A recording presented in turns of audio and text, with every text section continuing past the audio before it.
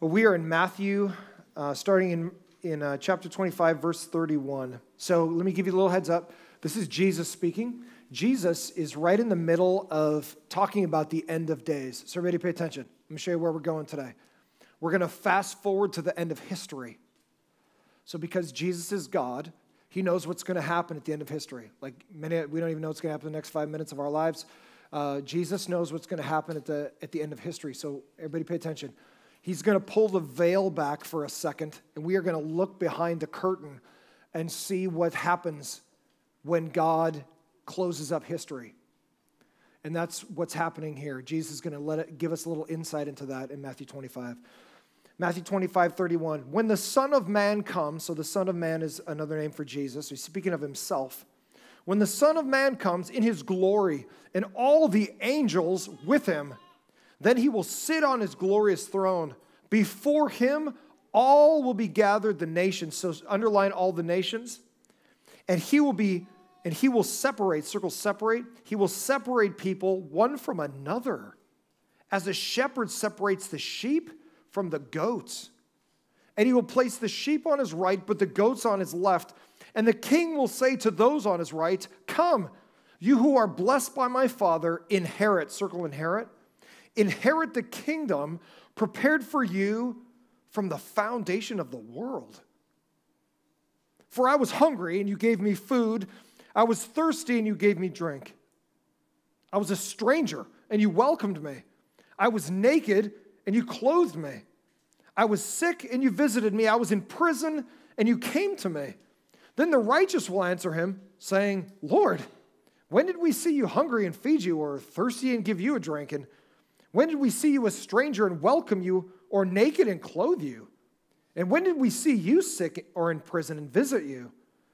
And the king will answer them, Truly I say to you, as you did it to one of the least of these, my brothers, you did it to me.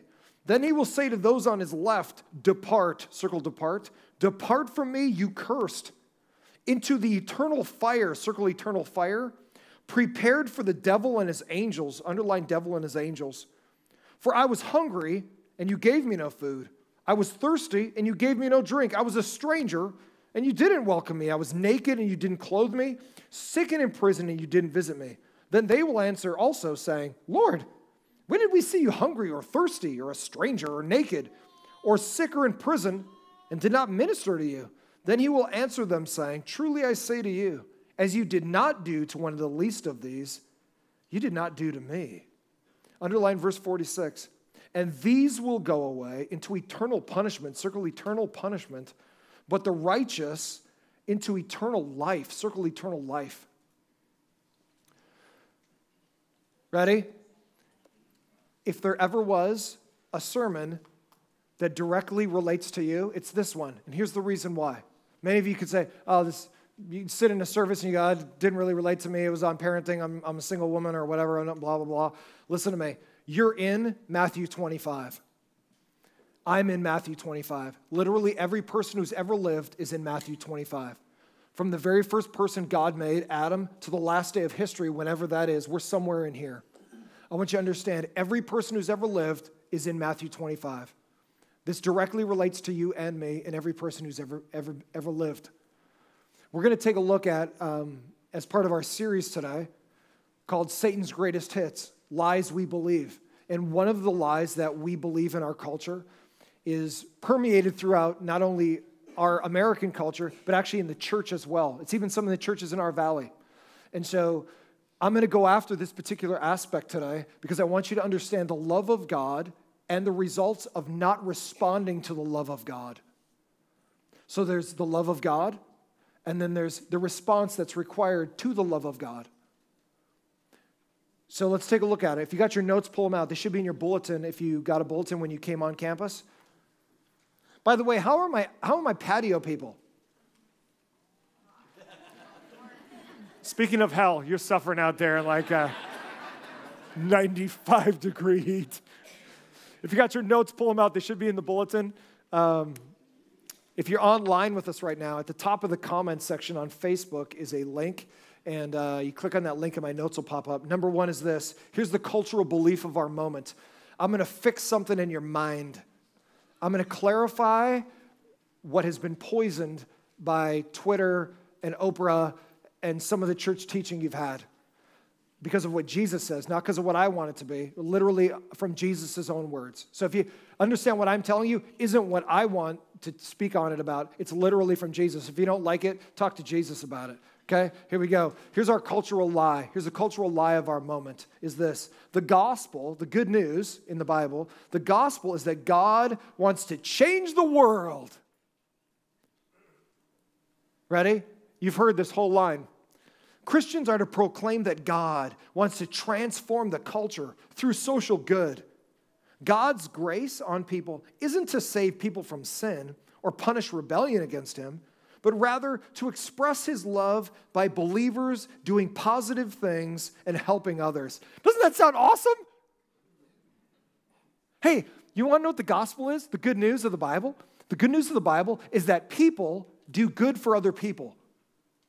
Our job as Christians is to do good so that other people see the good and they want to do good too.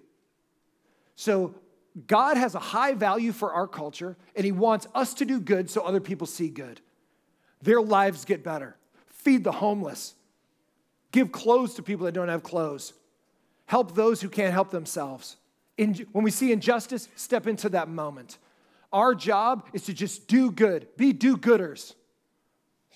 Get good up in here. That's the whole purpose that God has for us.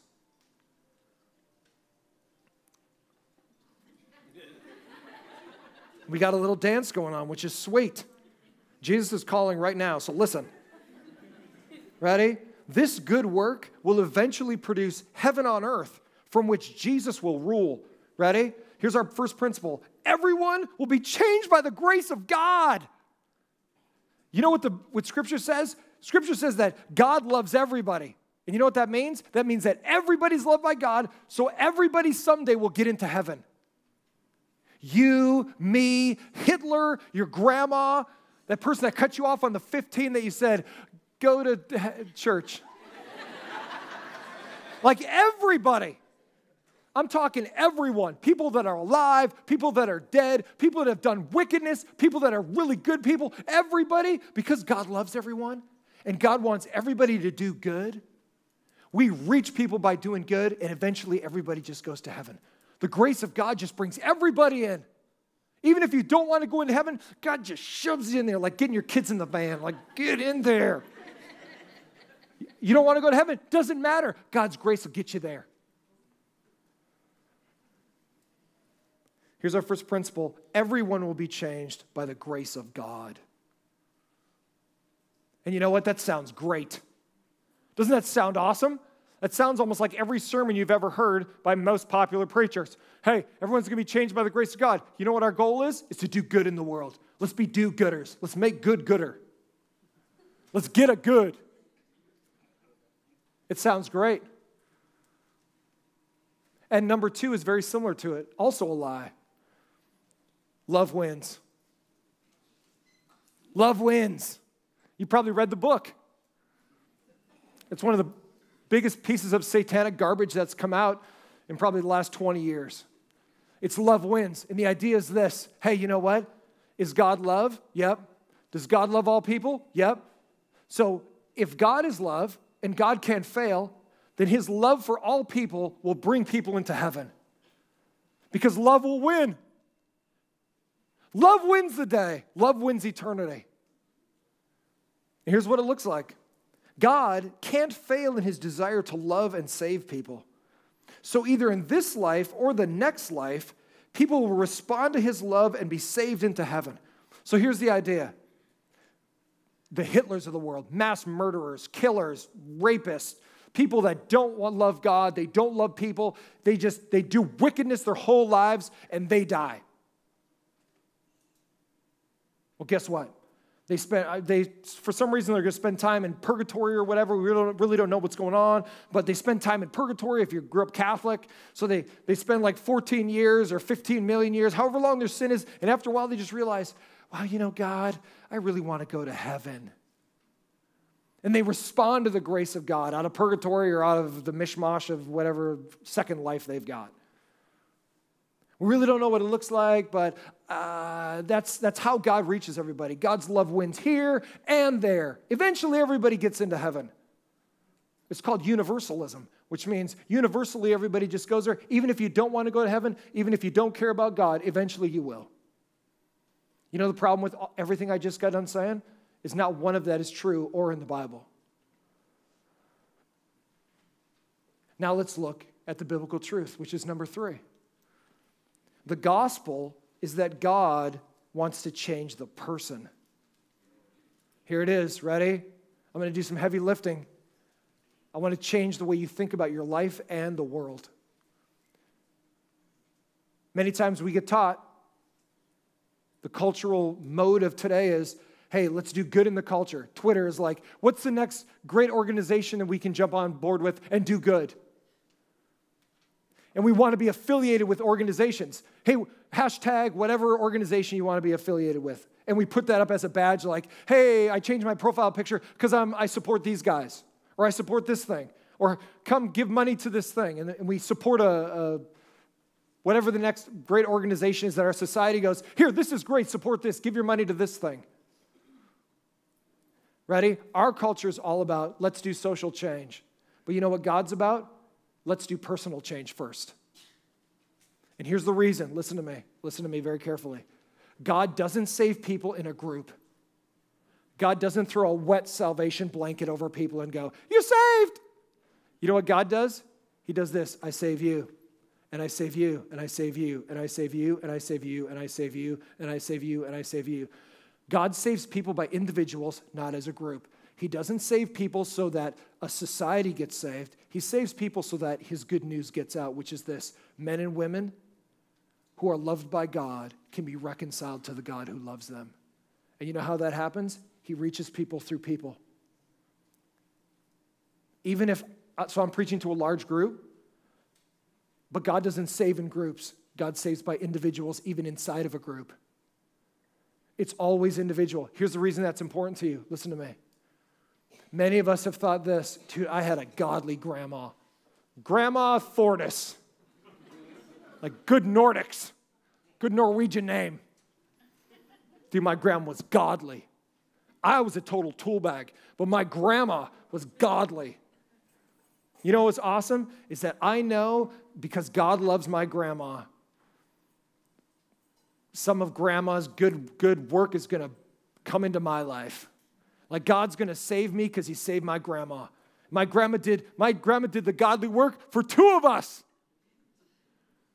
Or you know what? Another thing is this. Hey, I go to, I have a great pastor. Dude, the pastor of the orchard, he's kind of lame, but the other pastor I go to, he's great. And I know because I, I, get good biblical teaching and because it's a great godly place, and I think he's a good godly man, that because I go to the right church, man, God, God forgives my sin. Like everything's all good or I have a pope, or I have a priest, or I have a pastor, or I have a great godly grandmother, let me help you. There's zero godliness from other people that's attributed to you or me. Nobody else's godliness comes into our lives. That means this you and I have to personally come to Christ. Why? Because God loves you personally, He doesn't love a group, He loves individuals in the group. Everybody understand what I'm saying? That's why, that's why this is huge. If you're trusting in a church or a pastor or a priest or a pope or somebody else to do God's work in your life, you're mistaken. Scripture always speaks of you individually need to get saved. God doesn't tell a whole group, everybody gets saved, I'm going to save everybody. He says this everybody in the group, turn to Christ. Everybody, come to know Jesus as your Savior personally, because nobody else's righteousness is going to be attributed to you. You have to repent of your own sin. It always has to be personal. Nobody's going to cover your gap. It has to be between you and Jesus. So, our goal as Christians is not to do good in society primarily. Our goal is to get saved, have a relationship with Jesus, and then do good to shine the light of Christ in the world. So that people see the light of Jesus in you and go, What's different about you? I need to get saved. Because what good does it do if you do good in the world, but everybody goes to hell? Literally, life isn't about getting on the right organization to do good in the world. Life is about getting right with God and then doing good to shine the good God into the world so that people who are lost see the goodness of God in your life. That's the gospel. You need to get saved, and then you need to be a better husband. You need to be a better wife. You need to be a better student. Jesus has to transform how you date, how you spend your money, how you, how, what your mouth is like on the job tomorrow morning. When Jesus transforms your heart from the inside out, then people go, What's your deal? And then Jesus reaches ones through you. Jesus uses one to reach one, whether it's your family, whether it's people at your work.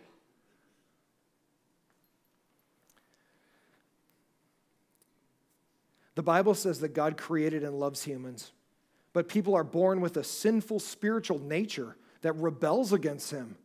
This depraved, unfixable condition requires a transforma- transformative miracle of the heart by God's grace. Hey, how many of you guys have kids?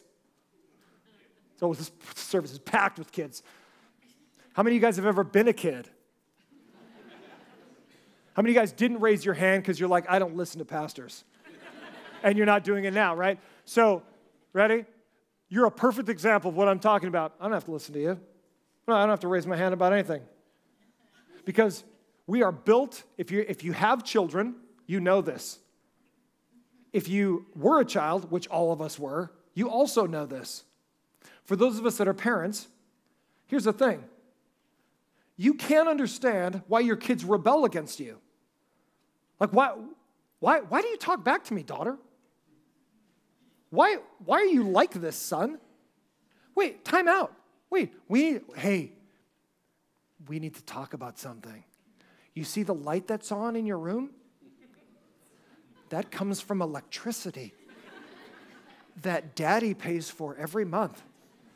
Literally, I screwed the light bulb in in your room. You didn't buy the light bulb, daddy did.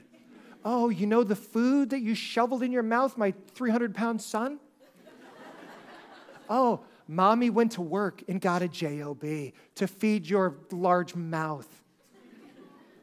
Oh, you love the air conditioning that unit that's been running for five days?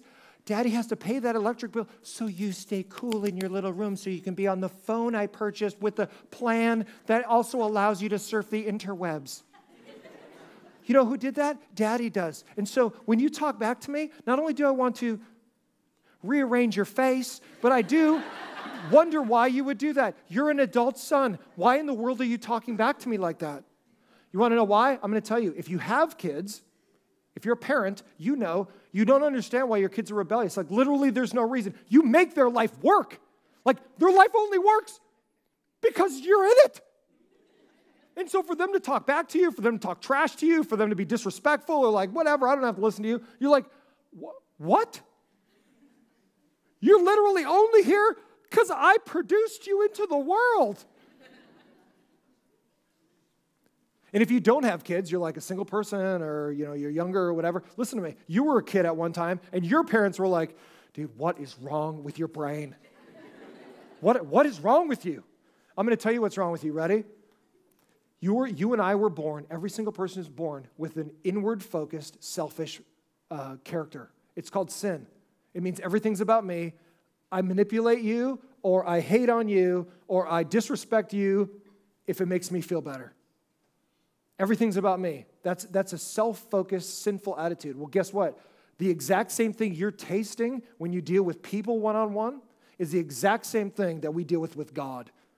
Where we disrespect God. God literally made the world. He literally made you. He literally gives you everything gravity and air and beautiful outdoors. He gives you everything. And yet we live our lives as if God doesn't exist. And if He does exist, I really don't care. So watch this we live our whole lives in rebellion against God, always self focused. But you know what's crazy about the God of the Bible? Is He loves you even on your worst day. He loves you when you don't love Him. You're an atheist, you're like, I couldn't care less. All this stuff is like, God, God, whatever. I don't even believe in that stuff. Guess what? Even on the day when you don't even care about God, God still loves you. That's the great, massive love of God. It's unending, it's you can't fathom the love God has for you. In the same way that parents, we love our kids, even when they're disrespectful. Guess what? There comes a day, and it happened to some of us in here, where our parents, though we love us, had to kick us out. There were days that sometimes you, as a, as a adult, young adult man or young adult woman in the house, you're bringing drugs into the home, and your parents go, You're gone. I told you the last time you're going to bring this in here. You're not going to be here anymore. You're not going to bring destruction into my home. You're, you're an adult that can make a real decision. You're going to rebel against me. I still love you, but we can't be together. Literally, love sometimes separates. We live in a culture where love has to be a feeling. And like, if I don't feel good, I'm not loved. Actually, in the Bible, love is a verb, love is always action. You know how your wife knows you love her if you're a husband? Is if you actually act in love toward her. You know how a, a, a husband feels love? Is when a wife verbally respects and, and, and loves on her husband. It's always a verb. It's not buttery fly feelings in your heart, because those butterflies die quick. and some of us shoot them all. Ready? So here's my point. My point is this sometimes love puts a line in the sand and says, I want you in my life. Son, daughter, I want you to be in this home. I love you. I gave you this whole life. I literally produced you. I want you in my home. I love you. But when the kid goes, I'm not going to live by your rules. I don't love you. Uh, I'm going to do drugs. I'm going to get high. I'm going to do whatever. Then literally, love says we can't be together. We have to be separated because I'm not going to let you bring death and destruction into my home. And guess what? It's dysfunctional parenting to facilitate that kind of behavior where I just keep on facilitating death and destruction of my, of my kid. I literally hate my kid if I keep on funding his dis- dysfunction and destruction. That's bad parenting. Well, we live in a culture where it's just open game on parenting. You do, you know, you don't want your kids to feel bad, and so you keep on greasing the skids away from God. So, ready? Same thing with God. God loves us every single day. God calls us to Him every single day. Come feel the love of God. And we go, Nope, not interested in that. I don't want you running my life. And so, guess what? Hell is just an extension of the way you've lived this life, which is, I don't want God. Eternity is just an extension of this. I don't want God in this life, and you won't have God in the next. Look at this. People need a heart transplant. What do you need? You need a heart transplant. I don't know how many of you have ever had a heart transplant, but it's like a miracle of medical engineering where they can literally give you a new heart. Funk, funk. Hey, I'm alive. Or if parts of your heart don't work, hey, look at that pig over there. Let's take some parts out of him and fix your heart valves. I mean, it's, it's a miracle of, of medical engineering that they can keep you alive, literally swapping heart parts out. Scripture speaks of the same thing. That's physical, but spiritually, you need a new heart. One that stops rebelling against God, one that's soft to the things of God, one that says, I want to be a woman of God, I want to be a man of God. That heart, that has to come from God. And it only comes through repenting of your sin, stopping your rebellion against God and saying, God, I, I want you to change my life. Jesus, I want you to transform who I am. I don't have a, a, the right spiritual heart. Swap out a new heart in me so I can serve you and serve other people. Look at John 3:16. John 3:16 through 18. Also the words of Jesus. He says this, for God so loved the what? The world. Watch this. So that sounds like, hey, God's going to save everybody. Except you got to keep going. For God so loved the world. Does he love everybody? Yeah. Does he love all 7.5763.4517 billion of us? Yeah. But here's the issue, ready? It's not that God doesn't love us, it's that we don't love God. And look at the rest of this verse. For God so loved the world that he gave his only son, speaking of Jesus, that whoever, that's personal, singular, that whoever believes in him should not perish but have what? everlasting life. God wants to give you everlasting life. He wants to forgive your sin. He wants you to have a life eternal, the best life here and the best life for eternity. Like that's God's heart. He's not trying to rip people off, He's not trying to keep people out. He's trying to go, uh, my, the door's open, son. Come back home. But we go, nope. I'm not going to believe in you because then I got to change. And I run my life. Whoever believes in him should not perish but have eternal life. For God did not send his Son into the world to condemn the world, but in order that the world might be saved, what? Through him. Look at the rest of the verses.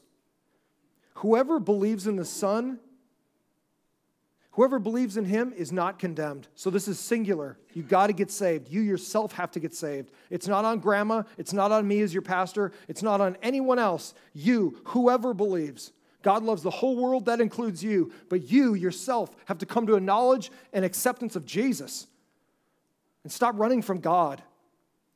Whoever believes in him is not condemned, but whoever does not believe is condemned already because he, singular, personal, has not believed in the name of the only Son of God.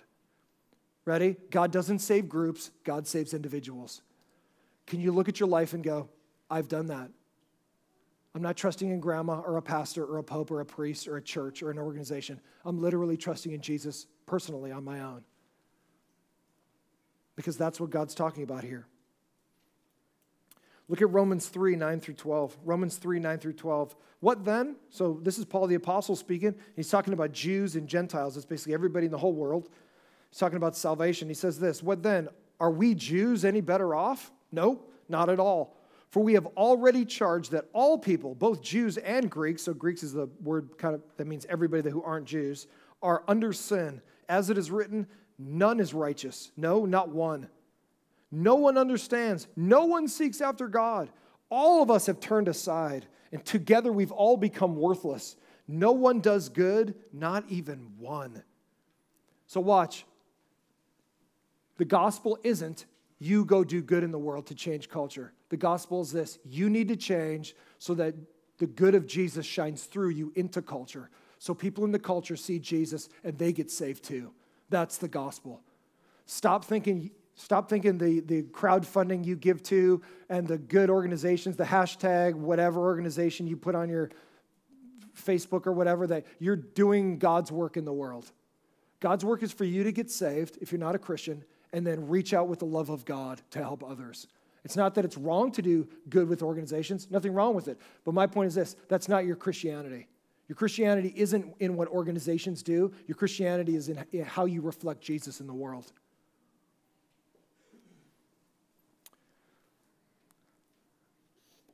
Look at this.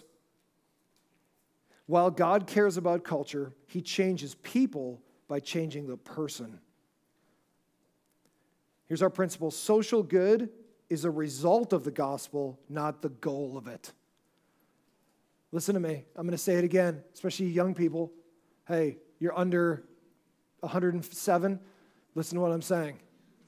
Then we're all young. I just helped you. See how I helped your self image? Ready? Everybody in here, listen to me, especially if you grew up in the social media age.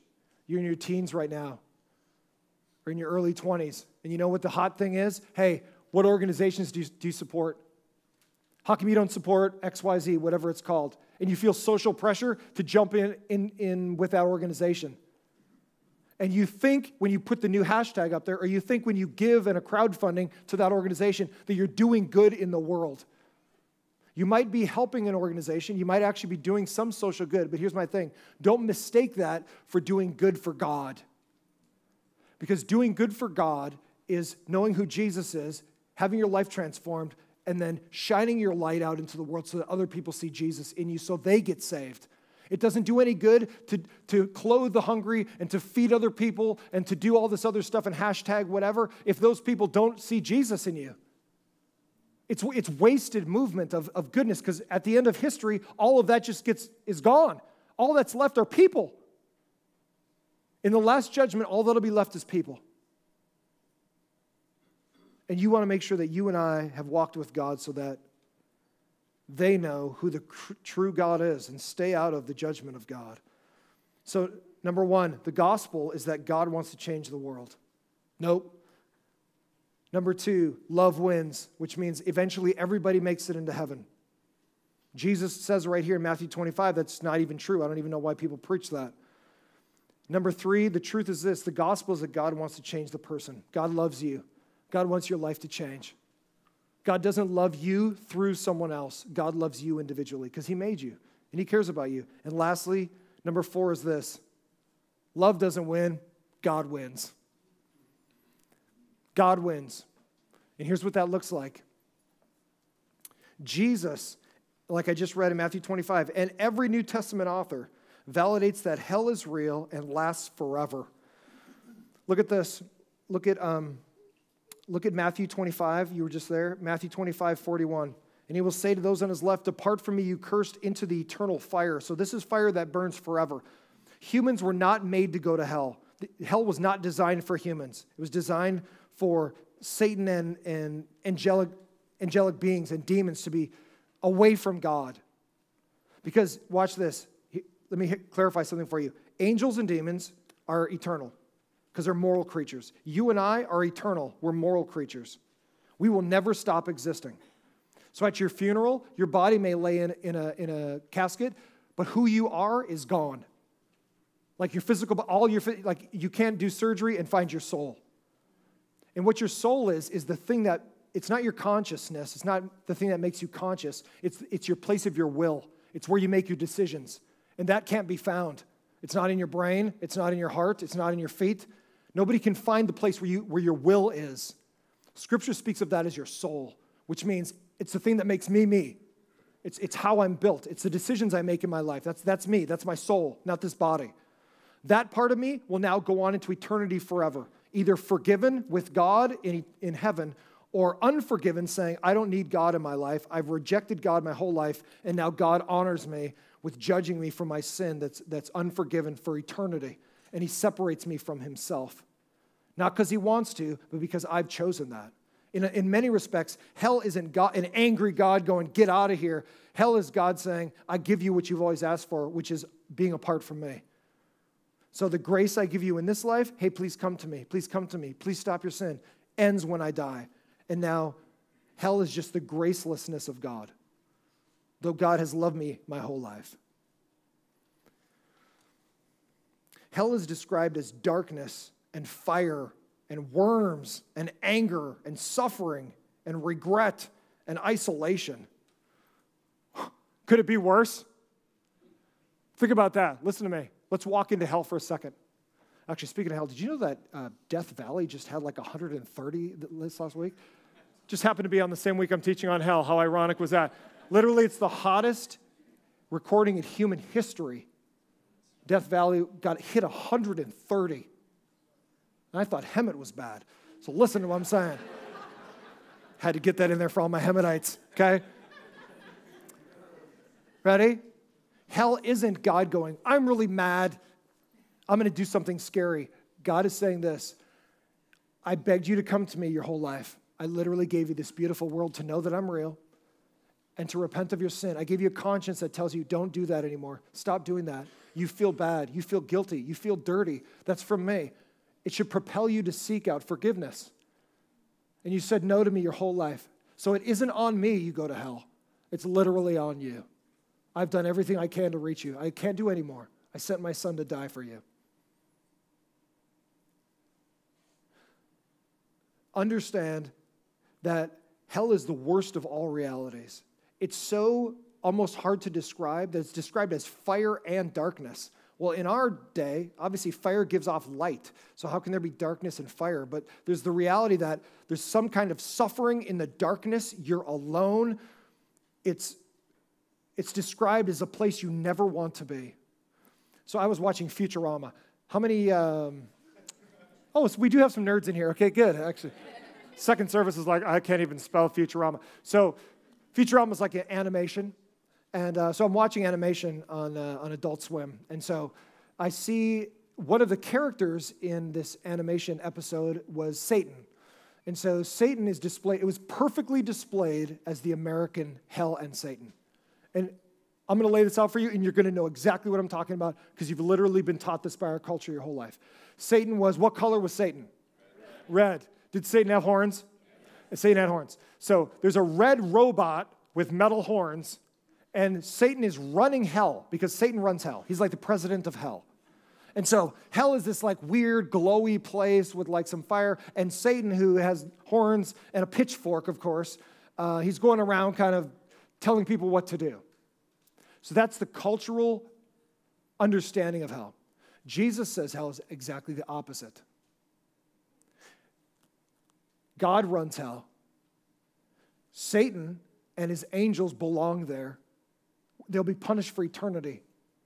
Nobody runs hell, it's not a hotel. I don't know how many of you guys grew up in the 80s uh, with like ACDC and uh, where's all my Hessian people in here? Is there any, any, my rockers left? Okay, you don't have as much hair, but you still remember those the music. I remember when I was in high school, people would listen to music, you know, like a lot of the rock music of the 80s was like, man, I'm going to hell and all my friends are going to be there. We're going to party. Man, I'm going to see you in hell. We're going to party when we get there. Man, it's going to be a great time. You know? I'd rather be with my friends in hell than be alone up in heaven. You know what hell's described as? The true hell? You're all by yourself, you're suffering, you're in the dark, you don't see anything, and there's some level of regret and anger and pain for eternity. It's the absolute worst reality as a human you could fathom to see no one ever again forever with no opportunity to repent. Why? Because this is your opportunity right now. This is the life where you get your second, third, fourth, 20th, 80th, billionth chance. God literally beckons you every second of every day come to me. And we just go, nope, not right now, or I don't believe in you, or whatever. And at the end of life, it's like, I give you what you asked for. Look at this. It was made to punish fallen angels, not humans. But as humans spiritually exist forever, sinful humans remain sinful forever unless transformed by faith in Christ in this life. I can remember in high school, people would talk about hell, like kind of like I am now, and I go, You know why I don't believe in hell? You know why I don't believe in your scary little God of the Bible? Is because one, people just talk about that. It's probably made up by the Catholic Church, number one, to scare people, to give money. Number one, that's why I don't believe in it. And number two, I'm going to tell you want to talk about ridiculous? Why would a God punish people eternally for like 70 years of sin? Literally, why? So, oh, so you do 50 years of sin and God's so like he can't handle it, so he just he, he punishes you for eternity for 50 years? That doesn't seem right. And then somebody shared an illustration with me and fixed my wagon shared this illustration. Let's say that somebody breaks into your house tonight and they don't have a, their flashlight doesn't work. And so they, they rummage around in your house looking for bread. And they get into your kitchen, they finally, it takes them an hour to find a loaf of bread. And they, they jack your bread out of the bread box. Anybody got bread box in here? we do. My wife loves bread boxes. So they jack bread out of the bread box, they steal it and take off. It takes them like an hour and 15 minutes to steal a dollar oh nine uh, loaf of bread. But then somebody walking along your street sees the guy leave the house and sees a door open, and he runs in the house with his gun and he murders you in your bed and takes off. And it literally takes him 13 seconds to kill you. They're both crimes. So the length of the crime isn't the length of the punishment. Because if the guy gets caught with the bread, even though it took him an hour and 15 minutes, Probably won't even get a ticket. But the guy that murdered you in cold blood, guess what? He's probably going to go away for the rest of his life. And it only took him 13 seconds to kill you. So it isn't the length of time that it took to do a crime, it's the motive by which it was done. It's the gravity of the crime that dictates how long punishment is. So watch this. If, if that person murdered you, they'll go away, probably, unless you're in a a, uh, a state that still has capital punishment. But even if you don't believe in capital punishment, understand that most people say, well, then he's going away for the rest of his life. But in reality, you're still taking his life away. You're locking him up in a little cell to do nothing the rest of his life until he's dead. Either way, you're taking his life away. One's just sh- shorter than the other. So you're still making a call to say, get out of our society. Forever. Don't come back. Like literally, because you murdered somebody, I'm taking your life away and putting you in a cell until you're dead. We don't want to see you in our society again. So understand, even our society has rules just like that. It took you 13 seconds to murder a person, but now your life's over. Steal some bread takes you an hour, share a sandwich with your pastor or whatever. so, watch, same thing with God. It isn't about your 50 years of sin and eternal punishment. It's this idea. If you're a sinner in this life and you die without forgiveness of Christ, you remain a sinner forever. So you don't go to hell for eternity because God's mad at 50 years of sin. You go to, to hell for eternity because you refuse to repent and you remain a sinner forever. Your nature never changed. So it's not about the amount of time you did sin, it's about the fact that your nature never changed. You will be that way forever. And that foreverness is God separating himself from you, not because he doesn't love you, it's because you don't want to be with God.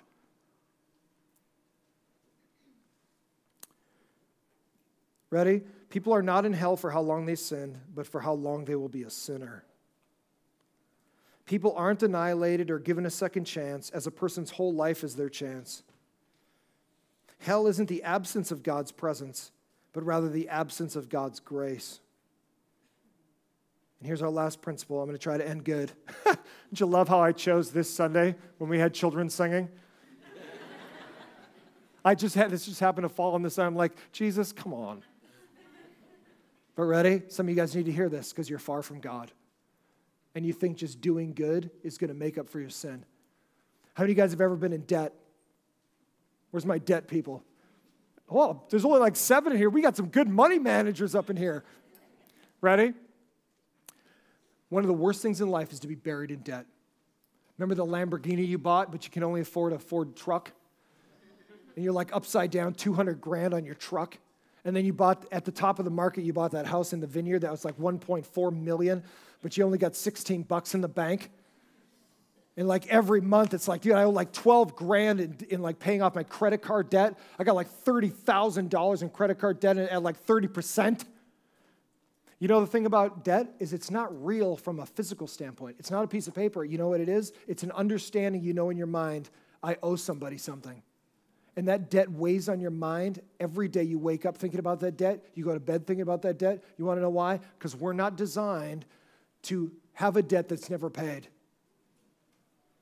Now imagine this. You're a million, you're 1.4 upside down in debt. You're like, dude, I work at the drive-through at McDonald's handing out, you know, coffee here on Rancho.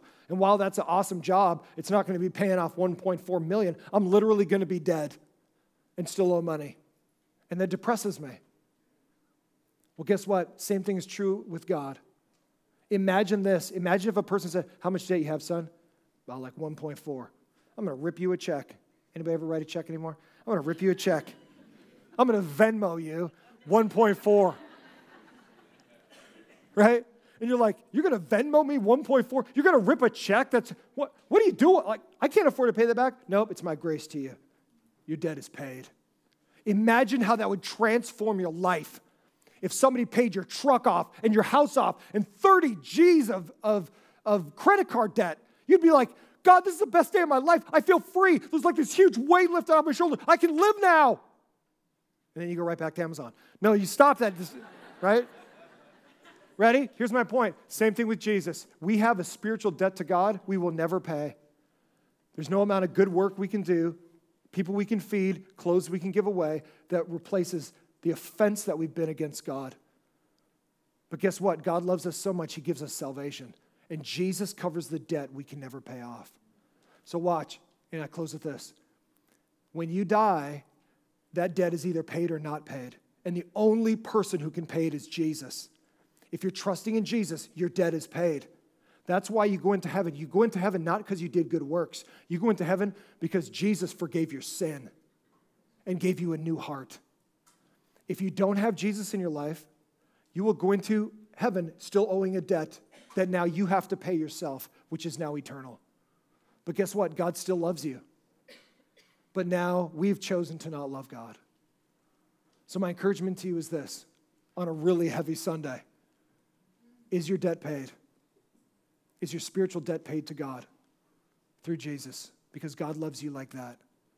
God's love reaches us every day. So let's respond to God's love because that's the greatness of our God to love us and do great things in our life through Jesus.